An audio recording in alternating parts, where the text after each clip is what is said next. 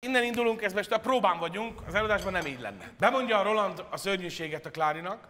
Apukád biztos egy tolvaj volt. Lelopta az égről a csillagot, és a szemet helyére tette.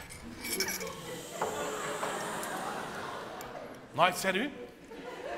Csönd támad az asztalnál, és most fogunk azzal foglalkozni, hogy kinek mi jár a kopasz kicsi fejébe. Az első az Biberach, aki azt mondja, hogy itt nincs is dolgom. Amit Dani fogalmazott, egyszerű, mint egy folyosó ez a fiú. Nekem meg semmi teendőm nincsen. Szívesen keverném, de ez csak szabadjára engeded, és már is magától működik.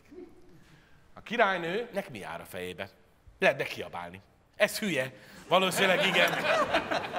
Igen, az, az, el, az át, átsuhanhat rajta valószínűleg. Igen.